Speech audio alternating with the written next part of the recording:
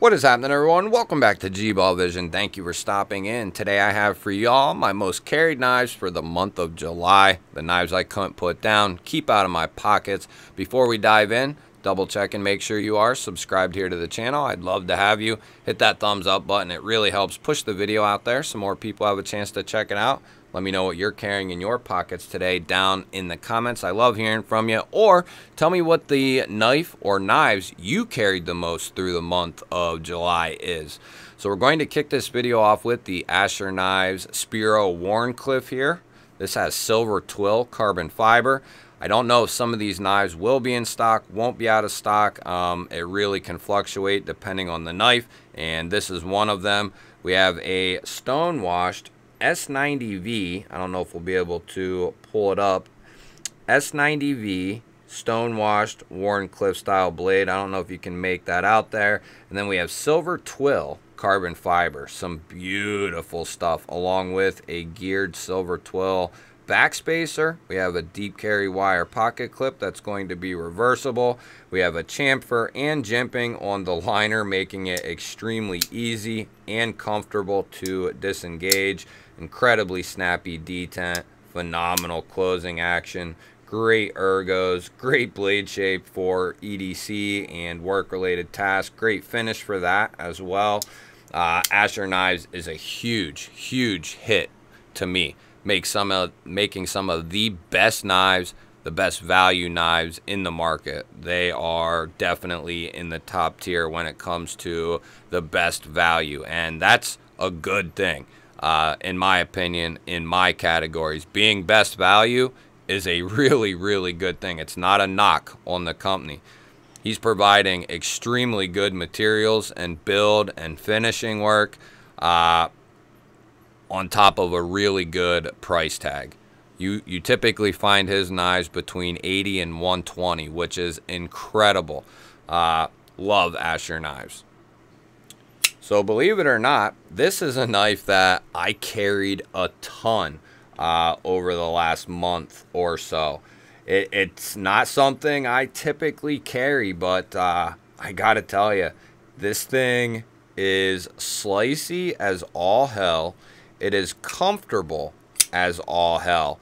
If you have XL, like larger hands, XL, even larger, this knife is just so comfortable. It is ridiculous. The Kizer Huntsman, you do, you do have you do you do have that crazy trailing point tanto, just crazy ass recurved blade shape. Um, it, it's crazy, but I'll tell you what it had it's got such a good edge on it. It's great at slicing, longer slices.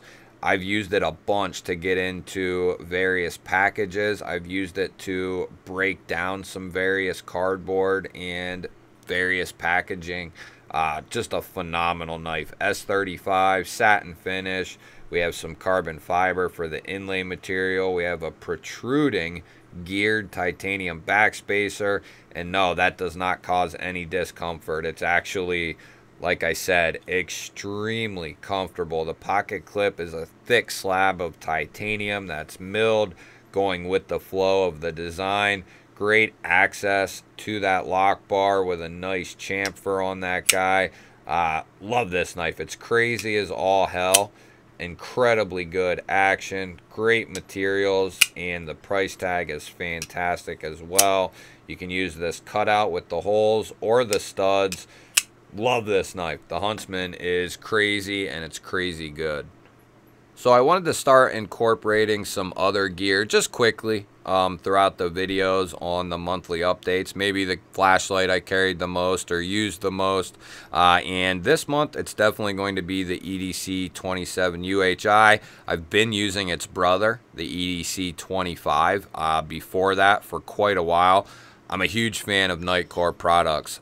I realized not long ago that they offer more than just flashlights. If you're looking for a good battery backup, like a five or 10,000 or maybe even a little bit bigger, they offer some phenomenal battery backups, nice and slim, you could easily carry it around in like your front pocket and barely notice it's there. I wish I had it here. I think it's charging in the bedroom, but uh, this flashlight is phenomenal. The EDC 25 is phenomenal. The battery backup I've been using from them is equally really good. This screen will let you know where you're at, what mode you're in, how many lumens you're using, and how long it'll last on that given mode. Uh, phenomenal. Love their technology, their flashlights. Just a, a fantastic flashlight company putting out some really good products, innovative products. I really like what Nitecore is doing, not only with flashlights, but like I said, their battery backups. They have solar panels there, a bunch of different stuff. Uh, highly recommend taking a look at their product line. And if you see something you like, I wouldn't hesitate because they seem to be extremely solid. So we have a nice mixture actually, or pretty close, of affordable knives, middle of the road, and maybe a little bit more expensive than that. But uh, this is the Tenable Prometheus here, and I really like what Kansept's doing with this Tenable line. Tenable is Kansept, if you're not familiar. Uh, I don't know why the add-on with the name. Uh, it could have been just Kansept's Tenable line, right? But it is what it is. Uh, we're still getting Kansept's build quality, just with a different name. We're getting a stonewashed 14C modified sheep's foot style of blade here. We have some blue denim micarta. They have a couple different variations. Some people didn't like the green pivot collar. Eh, I don't mind it. Not a huge deal. This knife is like 50 bucks or so, 60 bucks. It's great, a great size. Has great materials. It's comfortable. Love the blade shape. It comes with a milled tie clip. If Tenable keeps this up, they are going to move into my favorite budget line in the game. So this next one, I know some people will love the aesthetic of, and some people won't. Uh, I love this thing because it's crazy. And that's the same reason why some people won't like it. But I like knives that are different. Uh, in one way or another, whether it's aesthetics or the design itself, uh, or both, or the locking mechanism, stuff that's just different, right? But stuff that's still useful and still utilitarian. Does it always have to be that way, i.e., the Huntsman? No. Not an ultra useful blade shape, but can it still cut and get the job done? Yeah, it definitely can. Uh, and this definitely can. M390 stonewashed sheep's foot blade and you got a nice amount of blade there. Uh, just just a great blade shape and I love how it just maintains just a slight curve out to that tip. And like I said plenty of blade length there to do pretty much anything you could need to do with a folding knife. We have this fuller here with these thumb discs and then you have a front top flipper there as well with some really heavy duty jimping there. And then this is a button lock style knife plunge lock style and it has an incredibly stout detent on it. Uh, titanium blue washed handles backspacer and pocket clip. It's recessed under there so it clears the seam easier and sits in the pocket easier crazy milling here on the back spacer, all kinds of different speed holes and milling on the show side here on the blade. Just really crazy looking. I have a full unboxing of all this stuff.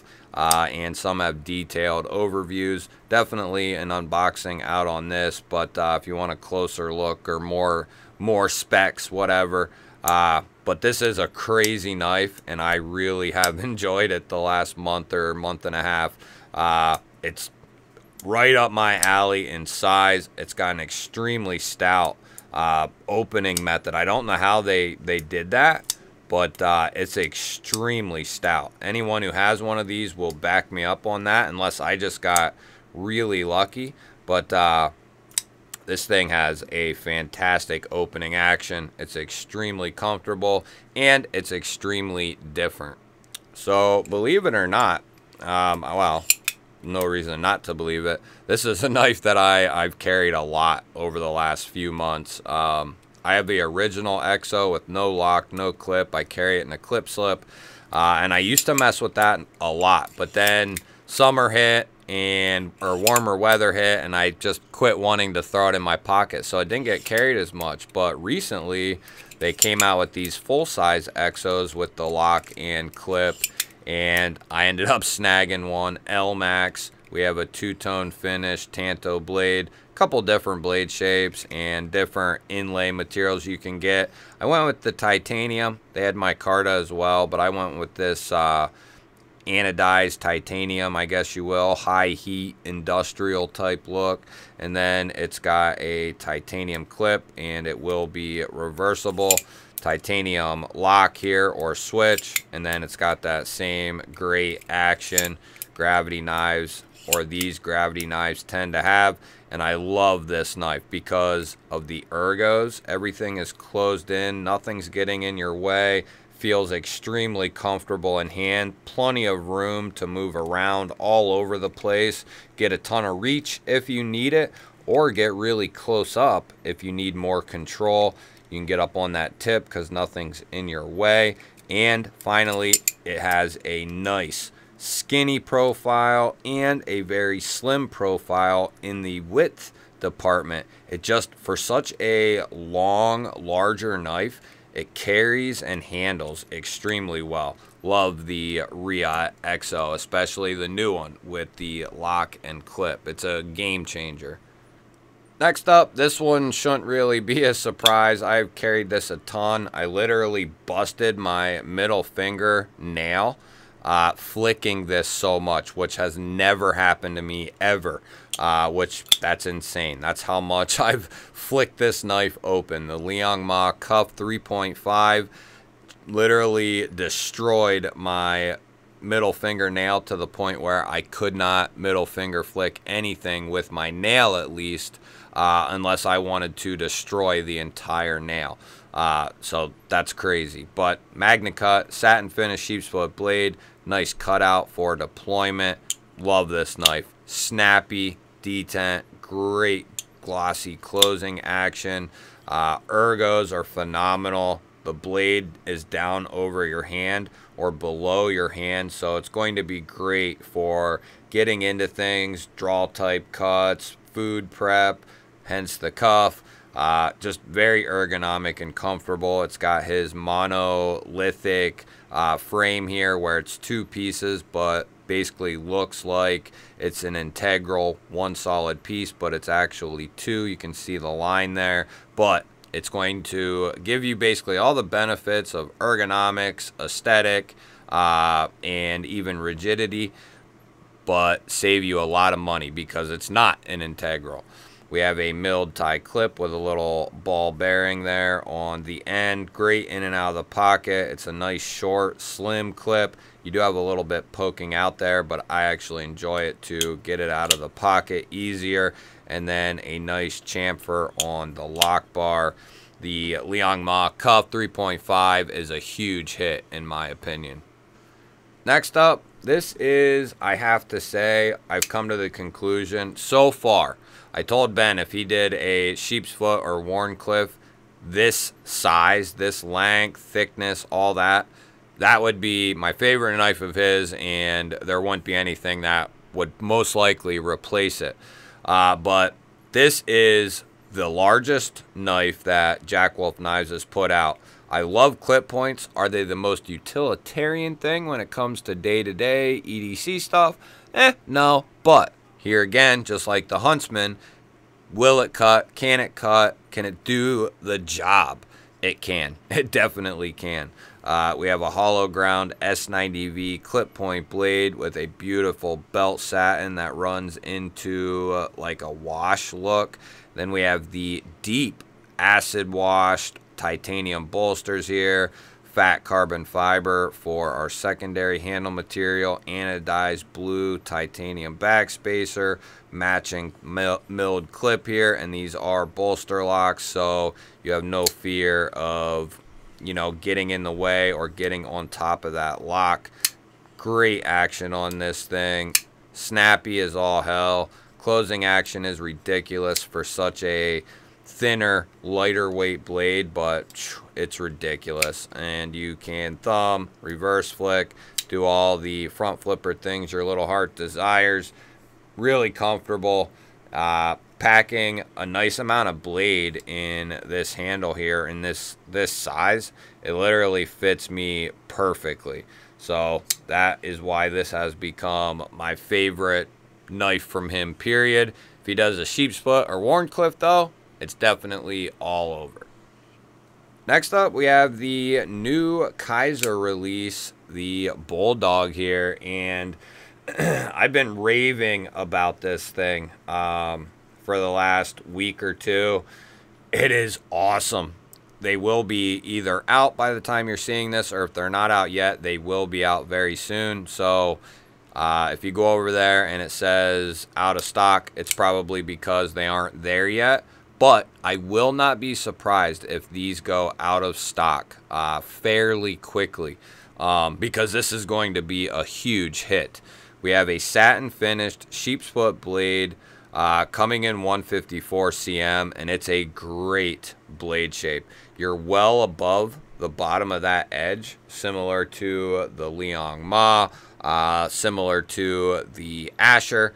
Just great ergos. It's going to be great for EDC work, finer work, work that you need control over. It's got a nice row of primary jimping, a secondary row here for for when you need that precision. If you do, we have some very nice micarta here for the handle material. Deep carry clip that's recessed and it will be reversible, sporting their clutch lock, which is the best in the business and it can be customized lighter or heavier for your personal preference on the opening there and how strong or light you would like it. But this as an affordable offering is one of my favorite budget knives from Kizer in quite a long time. They need to do a premium version of this, and I'm not the only one saying that, but if they did a titanium handle in, uh, I don't know, S35 even, uh, what Kizer's been using a lot. Anything that they've been using, really. Uh, Elmax would be beautiful. Elmax and titanium. Oh, could you imagine? That would be amazing. This is going to be a huge hit. If you pick one of these up, you'll be extremely happy. And the next knife we have up here, this was a tough call between this one and the mini PSYOP because uh, I carried them both quite a bit. This is the full-size PSYOP coming in that beautiful Elmax steel drop point with a black washed finish. We have the cutout there and the front flipper for deployment. Nice and snappy on that action. Nice choil there to choke up behind that blade. Get a lot of control over it and use that to get up on the tip there for more precise cuts. We have contoured titanium handles here. They do have flat milled titanium handles. I opted for the contoured ones, of course, extremely comfortable. We have a milled tie clip that goes with the flow of the knife. Only going to be righty on this one, sporting their top liner lock or the compression lock, if you will. Uh, phenomenal. Extremely comfortable knife. Well done great material choices and a lock to back that all up. And then the pen that I carried the most would be uh, this new Bastion uh, carbon fiber and steel bolt action pen. Uh, these are very affordable. They have ones made out of titanium and zirconium and all kinds of stuff. So they have some very expensive ones too. Uh, I have some of their titanium stuff, aluminum stuff, and now their steel and carbon fiber. This has got some weight to it, so it's perfect here at the desk. It's not necessarily something I carried a ton, but it's something I used a ton throughout the month uh, here at my little desk. So that is definitely up there and one of the most used pens of the entire month. You guys will have to let me know. What do you think of the list? What did you carry the most throughout the month? And do you like the fact that we throw in some other goodies as quickly as possible, like the pen and the flashlight. I'll start to incorporate that a little bit more often. Just wanted to try it for this one. Let me know what you think. Don't forget to hit that thumbs up button on your way out. Always appreciate that. If you're new here, we release EDC and knife content every single day. Hit that subscribe button, ring the little bell. I'd love to have you here. I'll put up a couple of new videos. Good. Have an awesome day. Thanks again for watching. I will catch you on the next one.